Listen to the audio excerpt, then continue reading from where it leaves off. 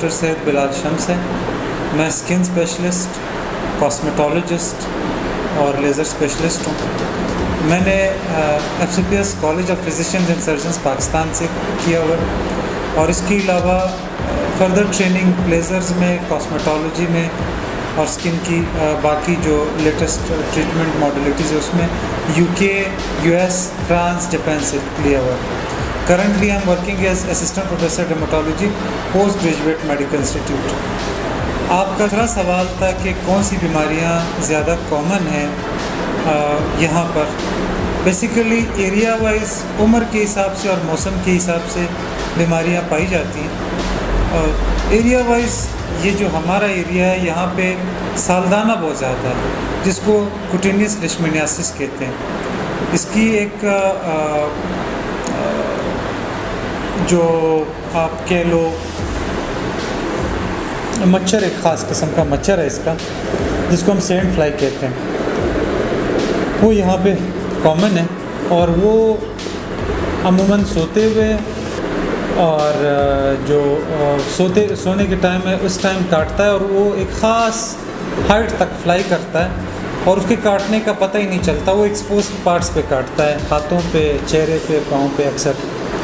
इसीलिए उसका एक फोड़ा बनता है और उसको ठीक होने के बाद अक्सर दाग भी छोड़ जाता है, अगर आप लेट उसको ट्रीट करें। इसके अलावा जवानी दाने एडोलसेंट्स में जो यंग मेल्स और फीमेल्स हैं, उनमें लड़कों और लड़कियों में ये बहुत कॉमन है।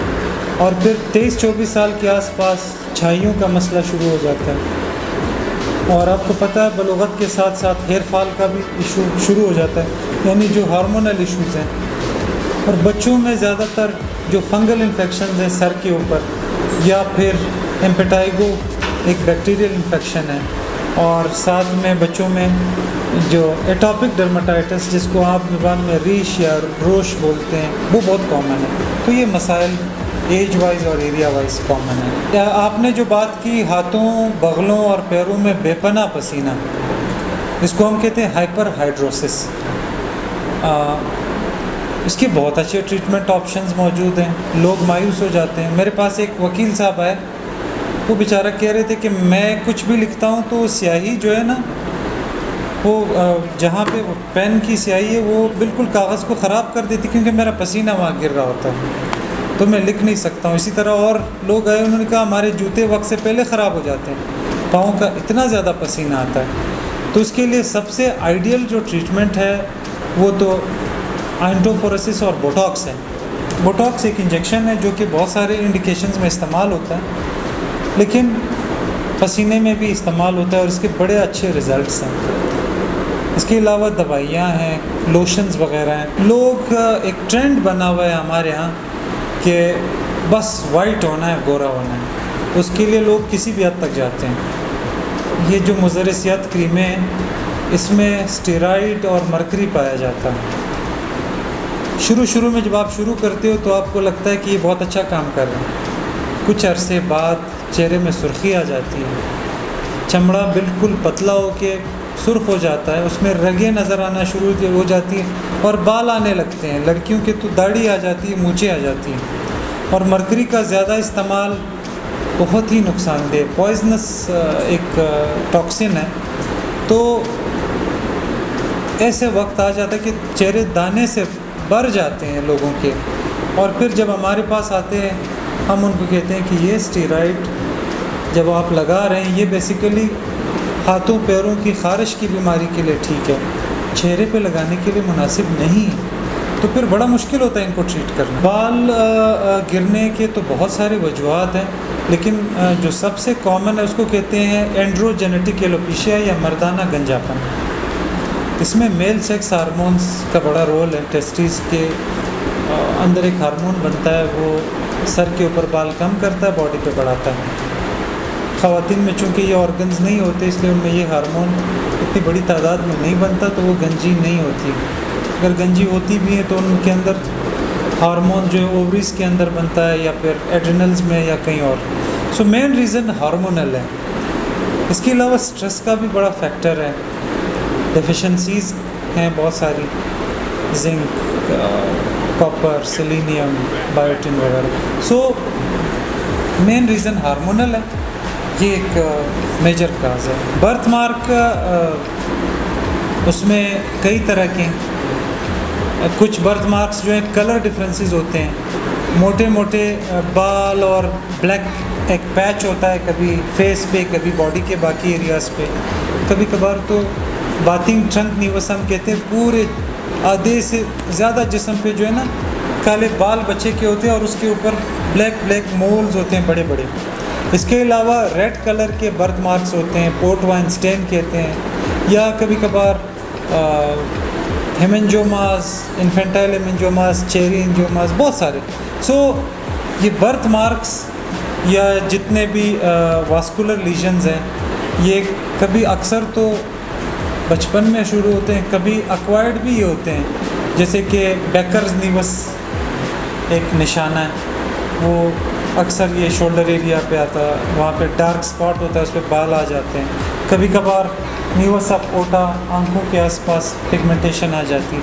सो अक्वायर्ड और जेनेटिक दोनों काजेज़ हैं इसके। और इसकी अच्छी खासी ट्रीटमेंट हमारे पास स्किन सेंटर में अवेलेबल है। हमारे पास वास्कुलर लीजन्स के लिए पल्स डायलेज़र और जो पिगमेंट्री लीजन्स हैं, यानी जो काले काले निशान, उसके लिए पिको वे लेज़र है। जुरियाँ वक्त के साथ कभी आती, कभी वक्त से पहले भी आ जाती। जुरियों के लिए बहुत अच्छा जो ट्रीटमेंट ऑप्शन है, वो बोटॉक्स है।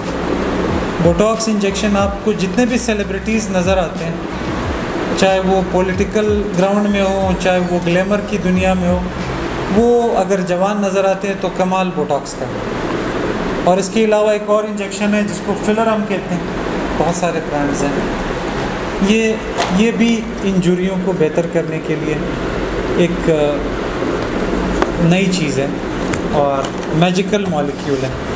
एच ए फिलर्स आते हैं। इसके अलावा कैल्शियम हाइड्रोक्सी एपेटाइट है पोलियल लेक्टिक एसिड के फिलर्स तो बोटॉक्स और फिलर्स तो एक जादू हैं। गैर ज़रूरी बाल जो होते हैं उनके हार्मोनल रीजंस हैं। यानी जो बैरूनी मसला है, उसका ताल्लुक अंदरूनी मसले के साथ है। पोलिसिस्टिक ओवेरियन सिंड्रोम है सिस्ट्स हैं कंजेनेटल एडिनल हाइपरप्लीजिया इस तरह की और बहुत सारी बीमारियाँ हैं जो हार्मोन्स की वजह से हैं। कभी कभार बिला वजह भी होते हैं। इसको हम कहते हैं इडियोपैथिक और कभी ये फैमिलियल भी होती है। फैमिलीज़ में रन करती है। तो इसका तो बेहतरीन ट्रीटमेंट जो है, वो लेज़र और इसके साथ साथ जो हार्मोन का स्पेशलिस्ट है, वो भी इसको at the same time deal कर रहा होता है। मेरे पास C O two fractional laser है। मेरे पास जिसमें खडे और इनपरफेक्शंस और फाइन लाइंस ठीक करने के लिए। इसके अलावा पीको वे लेज़र जो पाकिस्तान में सिर्फ़ चार हैं। उनमें से एक मेरे पास है और अमेरिका में इवन हर एक के पास नहीं होते। ये तिल छाइयाँ टैटूज़ जितने भी पिगमेंट्री डिसऑर्डर्स हैं। इसके अलावा मेरे पास पल्स डाई लेज़र है, जो कि पैदाइशी निशानियाँ आपने देखे होंगे रेड स्पॉट्स चेहरे पे, बाकी जिसम के हिस्सों पे। मेरे पास gentle max pro gentle lase मेरे पास हाइड्रा फेशियल मेरे पास क्रायो पेंगविन मेरे पास एल्बियम यैग आ रहा है। इसके अलावा iontophoresis band ultra violet B phototherapy ultra violet A hydra facial girls ये कि जो चीज़ अमेरिका में है, वो स्किन सेंटर कोयटा में पड़ी। हुई बालों का उम्र से पहले या वक्त से पहले सफ़ेद होने को पहले आप डिफ़ाइन करते हो कि किस उम्र में बाल सफ़ेद होंगे तो आप कहोगे कि वक्त से पहले। अमूमन इंसान तीन तरह के हैं। एक कॉकेशियंस हैं, जो हम यहाँ पे पाकिस्तान के लोग, इंडिया, अफ़गानिस्तान, ईरान, तुर्की, ये जो जिनकी ऊँची नाक होती है इनको कॉकेशियंस कहते हैं। इनमें 20 साल के बाद 21 साल के बाद अगर बाल सफ़ेद हों तो ये बीमारी नहीं है। ये नॉर्मल एजिंग प्रोसेस है। प्लैक्स के अंदर नेग्रोज जो हैं, उनके अंदर अगर 30 साल के बाद बाल सफ़ेद हों तो ये बीमारी नहीं समझी जाती। और अगर जो मंगोल्स है, जिनकी फीचर्स जो बैठी हुई नाक और जो चाइनीज़ कोरियंस वगैरह, पैंतीस साल के बाद अगर उनके बाल सफ़ेद हो तो ये बीमारी नहीं समझी जाती। इसको हम नॉर्मल एजिंग प्रोसेस कहते हैं। इससे पहले अगर बाल सफ़ेद हो जाए तो इसको हम वक्त से पहले या प्री मेच्योर एजिंग वाइटामस की डिफिशेंसी से भी हो जाता है, या कुछ सिंड्रोम्स हैं प्री मेच्योर एजिंग सिंड्रोम उसमें भी ऐसे होता है। तो अगर तो अक्वायर्ड प्रॉब्लम है, यानी कि किसी वाइटामिन की डिफिशेंसी वगैरह से कभी कभार रिसर्च में ये भी है कि स्मोकिंग से भी वक्त से पहले सफ़ेद हो सकता है।